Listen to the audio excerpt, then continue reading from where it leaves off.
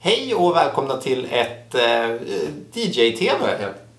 Ingen veckans avsnitt. Nej, Välkommen till ett avsnitt. Välkommen till ett avsnitt av DJ-TV. Det känns ju, när vi har haft ett uppehåll nu på, jag vet inte, flera månader, eh, mer än vårt vanliga sommaruppehåll, så känns det ju inte riktigt som att vi kan säga att det är ett veckoprogram längre. Nej. Får vi se hur det blir längre fram.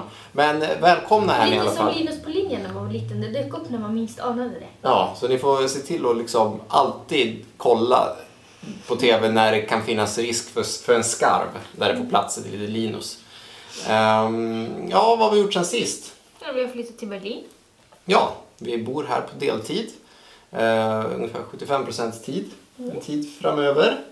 Eh, och vi, det, det ni ser bakom oss är vår Berlinbokhylla. Den är inte riktigt lika uh, maffig som de vi har där hemma. Oj, nu rasar det här bakom också. Jonathan Franzén, eller Franzen kanske han heter. Eh, ja, det här är då en- egentligen inte ens våra böcker utan böckerna som stod här. Eh, det är en delvis möblerad lägenhet som vi har eh, hyr i andra hand. Så det här är vår hyresvärdinna Katjas böcker som är faktiskt ganska bra tycker jag. Ja, det är faktiskt. Och vi på de tre översta hyllorna här så har vi den engelsk, engelskspråkiga litteraturen och sen så är det tysk på de två nedre raderna. Och eh, vi, Det gör ju mig väldigt förvirrad med den här tyska litteraturen. Vi har, vi har på att dividera om, om bokryggarna. Ja, för det är en sak som är väldigt intressant. eh, Som ju, som, det, är, det, är inte, det, är inte, ja, det är inte bara ett eh, tyskt eh, fenomen utan det är även ett fenomen... Ska se jag hade någon, jag har för mig att jag hade någon som ganska bra här. Oj, vad det rasar. Eh, ja, men vi kan ta vilken som helst. Ta den här. Här har vi då en eh, bok av en författare som heter Ulrich Plenzdorf. Eh, Legende från Glück ohne Ende. Ni hör att min tyska är helt fenomenal. Men om vi då vänder på den här boken så, ja, här, jag har ingen aning om huruvida det här syns nu, så ser ni i alla fall kanske, eller annars får ni ta mitt ord för det, att eh, ehm, titelryggen står nerifrån och upp. Det är superbakvänt. Och, ja, jag eh, blir helt kollrig när jag ska Ja, läsa titlarna. till, till skillnad då från, ja, men till exempel för på den översta hyllan när jag är högst upp så har vi svenska böcker och bland annat så har vi den här godbiten. Jaha. Ja, det av en svensk författare? Ja, en svensk författare. författare. Och där ser ni då kanske eventuellt att bokryggens titel står uppifrån och ner. Och det är ju det gängse på svenska och eh, även på engelska. Alla böckerna som är här på engelska eh, har bokryggen på det sättet. Men eh, i Tyskland och jag tror även i Spanien vet jag. För där, jag har någon spanskspråkig bok hemma. Och där är det också så. Men där skriver man bokryggen åt det andra hållet. Och vad det här beror på det har jag faktiskt ingen aning om. Men det ser helt knäppt ut. Ja, och jag blir så här att jag liksom vrider huvudet nästan ur led som en liten papegoja Ja. när jag ska... Och det gick till och med så långt som du sa, men det måste ju vara något fel, de måste ju ha gjort fel, sa du. Och jag menar i så fall har de gjort fel på Nej, alla de jag tyskspråkiga böckerna här, utom en. För det finns en här, har jag faktiskt sett, som har eh, texten åt rätt håll. En bok om eh, en handbüch för webbtexter. Eh, där har de faktiskt skrivit det uppifrån och ner.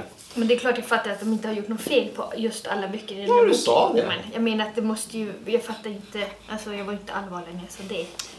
Så ni Nej. hör hur det vara gift med den här. Ja, Ehm, ja nej, men det är i alla fall en väldigt eh, en intressant iakttagelse. Som, eh, ja, det finns säkert någon bra förklaring till det. Eller så Ja. har det bara blivit så. eh, av, eh, Men de är lite bak och fram. Jag, vet, nej, jag jobbade förut mycket med att göra mm, undersökningar. Marknadsundersökningar. Och då var ju deras skalor är ju också tvärtom. Alltså, ett är jättebra och fem är asdåligt. Aha. Sen en annan grej som vi tänkte på med den här bokhyllan är att, eh, för, det sa du när vi kom, liksom, gud vad mycket klassiker hon har. Och, och, och, och det stämmer ju faktiskt ganska väl överens med det som vi pratade om när vi var eh, i Ja. Berlin förra hösten. Så noterade vi att det fi- alltid finns ett väldigt... Men, Det är ett stort utbud av, av liksom klassiker i nytryck i, Ja. i, i, bok, i boklådorna. Och Mm. ofta på topplistor och sånt också. Att det liksom är ja, men Dickens och alltså, alla möjliga som är där. Som är väldigt... Eh... Och så ser det ju mycket ut i Katjas bokhylla också. Att det är Ja. en hel del eh, Ja men Dickens, Austen, eh, den typen av, av litteratur. Och de verkar läsa en hel del klassiker.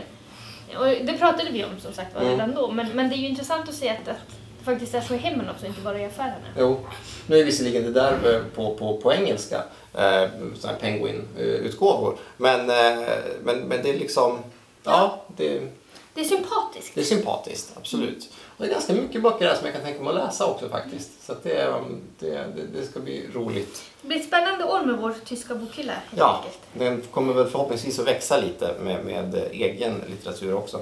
Än så länge så har vi bara en, en, en halv hylla högst upp som, där vi har böcker vi har tagit med oss hit.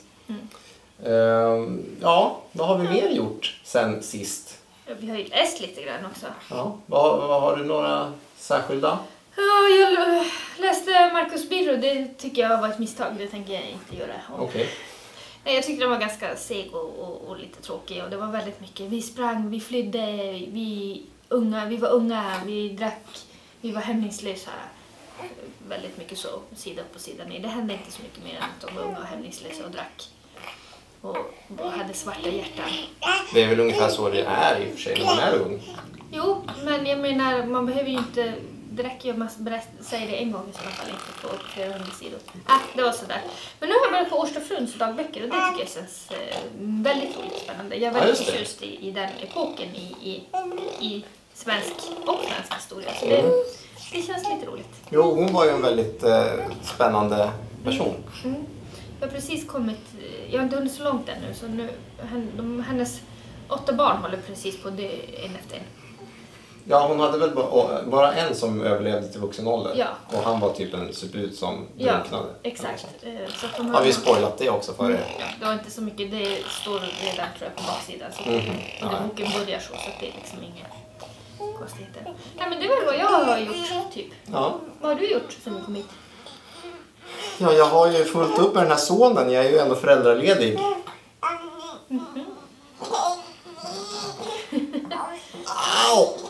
Ja, ni ser ju. Jag har inte tid att läsa. Nej, men jag har ju faktiskt... Jag var, nej, men grejen var ju den att vi har ju haft en period när Tage inte ville ha att vi kunde ha lampan tänd när vi gick och la oss. För han sov ju inne i, samma rum som oss. Och eh, vilket gjorde att jag började läsa en hel del på min iPhone. För det var det enda... Ja, då behöver man ju ingen lampa. Så att jag har faktiskt eh, för första gången på, på allvar börjat läsa e-böcker. Eh, jag menar, jag har ju tidigare läst en del e-böcker också men, men bara liksom på för att testa, typ.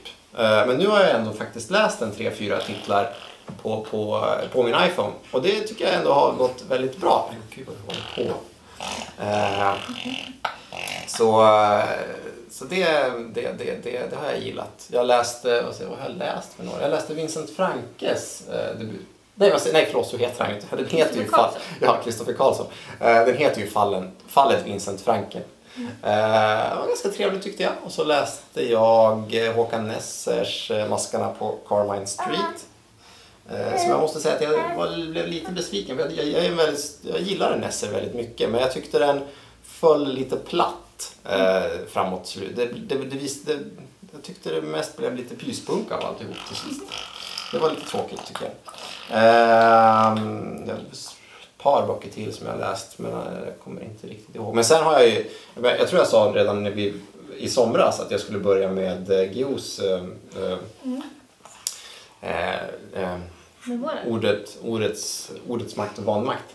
Och den har jag fortfarande typ 30 sidor kvar i, men jag är nästan klar i alla fall. Men Men den är bra, visst? den är jättebra. Det är verkligen en, en, en, en alltså, om man vill läsa, jag menar, det är verkligen... roligt och välskrivet och väldigt intressant. Och, och det är liksom, ja. Jo, och det, jag menar, man kan tycka vad man vill om Jan Guillou, men han har onekligen varit med om jäkligt mycket och eh, är verkligen en, en väldigt viktig person i svensk journalistisk historia eh, som, som det inte går att ta sig runt. Liksom. Nej, precis. Så att, eh, ja det är väl det. Vi, eh, ja. Det var ju som hon, eh, jag kommer inte ihåg vad hon hette, bloggaren som sa att sätt Tage Ögren bredvid en trave böcker så har ni ett DJ-table. Det är väl ungefär det vi har gjort. ja Geslunds, Just det. ja, eller på, på Twitter heter de så. Eh, ja, så har vi, och det är ungefär vad vi har gjort nu. Så att eh, vi får väl se om det håller fler gånger eller om vi måste ha mera innehåll nästa vecka. Eller nästa gång vi kör. Ja, nästa vecka tror jag inte det blir. Eh, så ha det så bra så länge så ses vi eh, senare. Hej då! Hej då! Hej då! Tid. Du lät ju som ett träskverk.